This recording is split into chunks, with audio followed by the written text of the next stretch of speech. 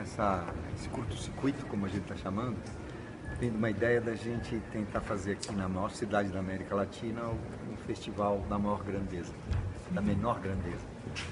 A ideia desse tema da menor grandeza é tem muito a ver com, com os grupos independentes que trabalham no menor espaço, um espaço livre, mas também com uma arte um pouco mais verticalizada, um trabalho mais profundo, mais intenso e mais sem compromissos com patrocinadores ou com qualquer vínculo político. São espaços completamente livres que desenvolvem a sua arte da maneira mais plena.